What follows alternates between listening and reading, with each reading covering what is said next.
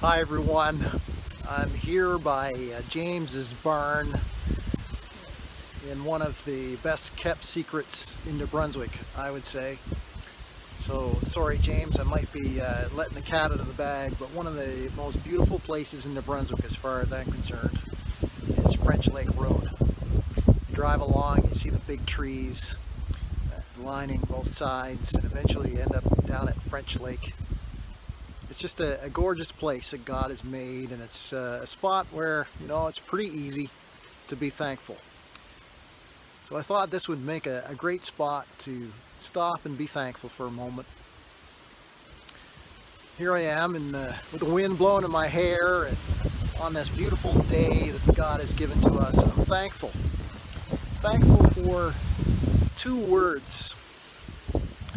Two words that represent so much See, those words are woven throughout the, the fabric of God's holy word. We see them really from beginning to end. There's the word mercy and all of that that that represents. And there's the word grace. And I'm thankful for God who is both God of mercy and God of grace. And I'm thankful for his mercy that has been applied to us and I'm thankful for His grace that is available to every one of us. You see, His mercy is spoken loud throughout the pages of the Scripture. I think of that even after the flood, when the Lord said, there would be seed time and harvest, summer and winter. His reminder to us in those words that even though we are sinful creatures, He still keeps feeding us he is merciful to us. I'm also thankful that His mercy means that I don't get what I deserve. You see, sinners deserve to die, and because He's merciful to me, He allows me to continue on, and because He's merciful to all of us, He allows us to continue. But I think when we all think deeply about it, we realize that we're thankful for mercy, but we're even more thankful, or maybe we could say we're super thankful for His grace. Because mercy means we don't get what we deserve. Grace means we can have something that we don't deserve.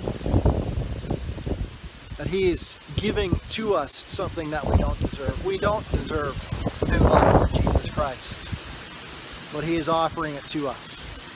And I'm thankful that written large throughout the pages of His holy word, He says, My grace, my grace for you, my grace is sufficient for you. He has offered to us His grace.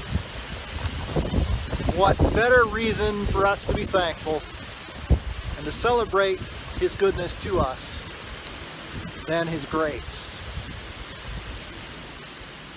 So be thankful. Join with me in thanking our Lord for His goodness, for His mercy. Perhaps we can even be super thankful, overly thankful for His grace. He has offered to us new life in Jesus Christ. We praise God for what He has done. I hope you'll join me tomorrow at 10 a.m. Come join us in the sanctuary, or you can drive in in the backyard, or you can come join us online. I look forward to seeing you there. Let's have a thankful day. May God bless you.